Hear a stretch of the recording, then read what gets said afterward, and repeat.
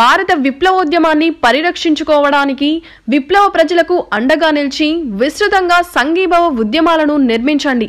April పదమూడు పదిహేను మధ్య ప్రచార ఆందోళన కార్యక్రమాలు పదిహేను నాడు బంద్ పాటించండి అంటూ పాద కమ్యూనిస్టు పార్టీ మావోయిస్టు మధ్య రీజనల్ బ్యూరో ప్రతినిధి ప్రతాప్ తన ప్రకటనలో వివరించారు. భారత కమ్యూనిస్టు పార్టీ మావోయిస్టు నాయకత్వంలో గత ఐదు దశాబ్దాలకు పైగా మన దేశంలో విప్లవోద్యమం అమూల్యమైన త్యాగాలతో కొనసాగుతుంది. భారత విప్లవోద్యమాన్ని తుదకంటూ నిర్మూలించడానికి నిరంతరం దోపిడీ పాలక వర్గాలు సైనిక అణిచివేత చర్యలకు పాల్పడుతున్నాయని ప్రతాప్ పేర్కొన్నారు. ఉద్యమ ప్రాంతాలకు ఉక్కుపాదంతో అణిచివేస్తామని రక్తపు టేరులలో ముంచుతున్నది. మా పార్టీని దేశ అంతరంగ భద్రతకు ఏకైక పెనుముప్పుగా ప్రకటించిన భారత పాలక వర్గాలు నిర్దిష్టంగా గత రెండు దశాబ్దాలుగా భారీ దీర్ఘకాలిక సైనిక అణిచివేత క్యాంపెయిన్లను కొనసాగిస్తున్నాయని ప్రతాప్ పేర్కొన్నారు.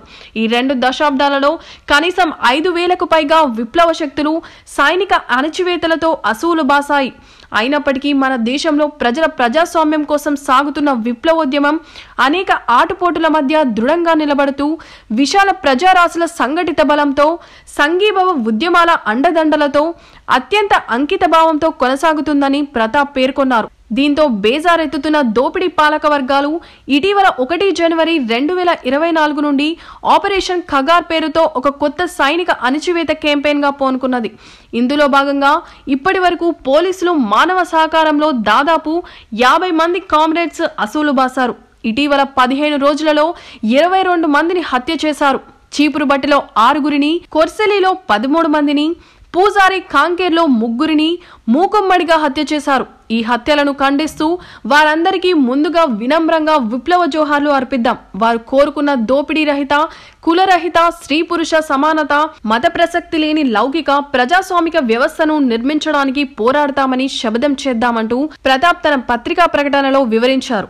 గత రెండు దశాబ్దాలుగా దేశవ్యాప్త మావోయిస్టు ఉద్యమ ప్రాంతాలు ఏ ఏటికా ఏడు అదనపు రాష్ట్ర కేంద్ర సాయుధ పోలీసు బలగాలతో నిండిపోతున్నాయి. మావోయిస్టు ఉద్యమానికి బలమైన ప్రాంతాలుగా దోపిడీ పాలక వర్గాలు గుర్తించిన తూర్పు రీజియన్లోని బీహార్ జార్ఖండ్ పశ్చిమ బెంగాల్ ఉత్తరప్రదేశ్ ఉత్తరాఖండ్ ఆసాం రాష్ట్రాలలోని ఉద్యమ ప్రాంతాలు మధ్య రీజనల్లోని ఆంధ్రప్రదేశ్ తెలంగాణ ఒడిశా మహారాష్ట్ర ఛత్తీస్గఢ్ రాష్ట్రాలలోని ఉద్యమ ప్రాంతాలలో అపూర్వ స్థాయిలో సైనిక అణచివేతకు పాల్పడుతున్నాయి. ఆధునిక ఆయుధాలు మందుపాత్ర నిరోధక వాహనాలు ఆకాశంలో డ్రోన్ల రోదా గగనతలంపై రోజు హెలికాప్టర్లు చక్కర్లు కొట్టడమే కాకుండా గత నాలుగేళ్ళుగా డ్రోన్లతో బాంబు దాడులకు హెలికాప్టర్లతో గన్ ఫైరింగ్లకు పూనుకుంటున్నారని ప్రతాప్ తన లేఖలో వెల్లడించారు. వేలాది బలగాలతో అడవులను జల్లడపడుతున్నారు స్త్రీ పురుష వయోవృద్ధ తేడా లేకుండా గ్రామాలపై బడి ప్రజలను ముఖ్యంగా యువతను కాల్చి చంపుతున్నారు. విప్లవకారులను వెంటాడుతూ వేటాడుతున్నారు. నిజానికి ఇవన్నీ శత్రు భూభాగంపై యుద్ధానికి తలపడడాన్ని సూచిస్తున్నాయి. భారత ప్రజలపై భారత ప్రభుత్వం అంతర్యుద్ధాన్ని కొనసాగిస్తుంది. భారత ప్రజలపై ప్రభుత్వం తలపెట్టిన ఈ యుద్ధాన్ని తక్షణం నిలిపివేయాలి. ఈ ప్రాంతాలలో మోహరించిన సాయుధ పోలీసు బలగాలను వెనక్కి తీసుకోవాలి. మూలావాసి ప్రాంతాలలో శాంతిని నెలకొల్పాలని ముక్తకంఠంతో దేశ పౌరులు డిమాండ్ చేయాలి చేయాల్సిన సమయం ఇది అని ప్రతాప్ తన పత్రికా ప్రకటనలో వెల్లడించారు.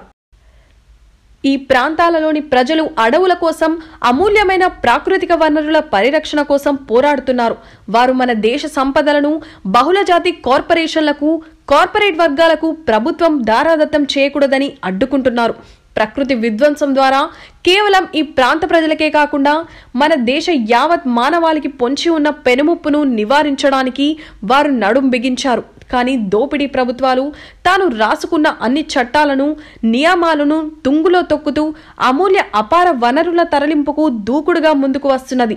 సంవత్సరాల తరబడిగా సాగుతున్న మూలవాసుల చట్టబద్దాల పోరాటాల వేదికలను కూలదోస్తున్నది. వారి నాయకులను ఉగ్రవాదులంటూ అరెస్ట్ చేస్తున్నది.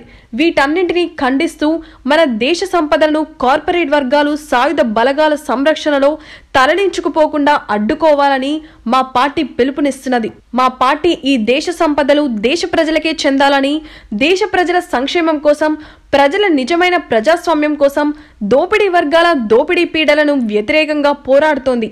ఈ పోరాటంలో మీరంతా భాగస్వాములు కాకుండా మన భారత ప్రజలకు నిజమైన ప్రజాస్వామిక మత ప్రసక్తి లేని లౌకిక కుల విముక్త దోపిడీ రహిత సమాజం సాధించుకోలేం. కాబట్టి ఈనాడు ఉద్యమ ప్రాంతాల ప్రజలపై కొనసాగుతున్న మానవ సంహారాన్ని సమైక్యంగా అడ్డుకోవాలని మా పార్టీ పిలుపునిస్తుందని ప్రతాప్ తన లేఖలో పేర్కొన్నారు.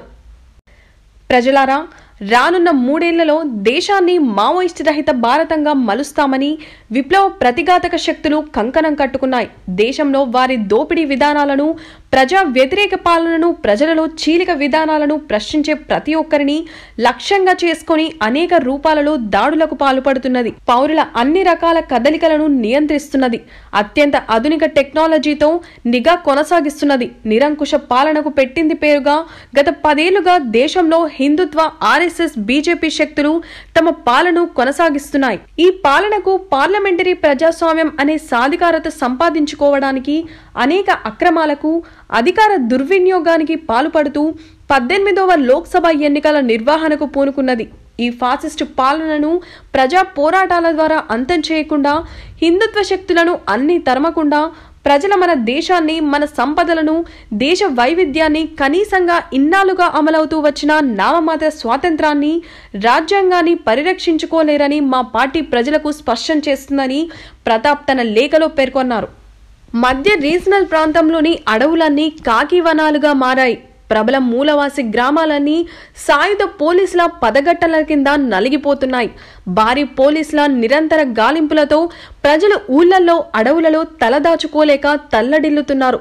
ఈనాడు అడవులలోని ఆదివాసి జీవితాలకు వారి చిరు ఆస్తులకు మహిళల భద్రతకు పిల్లల సంరక్షణకు యువత ప్రాణాలకు ఏ హామీ లేకుండా పోయింది. అడవులలో గ్రామాలలో చేతికి చిక్కిన వారిని మావోయిస్టు అంటూ వారి వద్ద పెద్ద ఎత్తున ఆయుధాలు మందుగుండు సామాగ్రి దొరికిందంటూ తప్పుడు కథనాలు అల్లుతూ నిర్దాక్షిణీయంగా కాల్చి చంపుతున్నారు. వారు ఆధార్ కార్డులు చూపినా పాన్ కార్డులు కిసాన్ క్రెడిట్ కార్డులు బ్యాంక్ పాస్ పుస్తకాలు చూపిన ఐదవ షెడ్యూల్ ప్రాంతం అంటూ గ్రామ సభల పేరెత్తిన ఓటర్ గుర్తింపు కార్డు చూపిన పోలీసుల ముందు ఏవి వారికి కనపడలేకపోతున్నాయంటే ఎంతటి ఫాసిస్ట్ నిర్బంధం కొనసాగుతుందో అర్థం చేసుకోవచ్చు. ఇలాంటి పాలనకు వ్యతిరేకంగా మూలవాసి ప్రజల మనుగడ కోసం వారి మీద కొనసాగుతున్న విచ్చలవిడి దాడులకు నరసంహారానికి వ్యతిరేకంగా నిలబడాలని అన్ని విధాలా దానిని ఖండించాలని పోరాట ప్రజలకు అండంగా ఎక్కడికక్కడే సంఘీభావ ఉద్యమాలను నిర్మించాలని అడవులలో శాంతి కోసం పోరాడాలని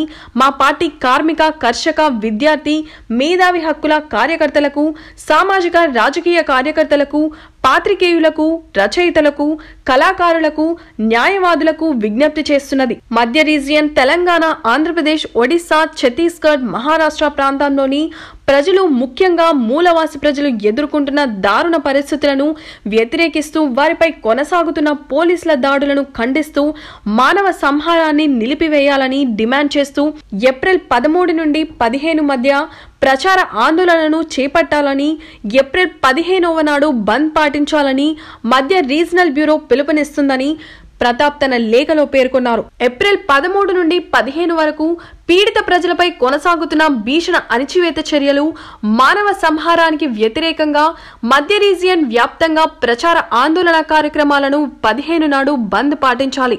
విప్లవాభివందనాలతో ప్రతాప్ అధికార ప్రతినిధి మధ్య రీజియన్ బ్యూరో భారత కమ్యూనిస్ట్ పార్టీ మావోయిస్ట్. వీడియో చివరి వరకు చూసినందుకు ధన్యవాదాలు. ఇలాంటి మరెన్నో రాజకీయ వార్తల కోసం మన ఛానల్ సబ్స్క్రైబ్ చేయండి.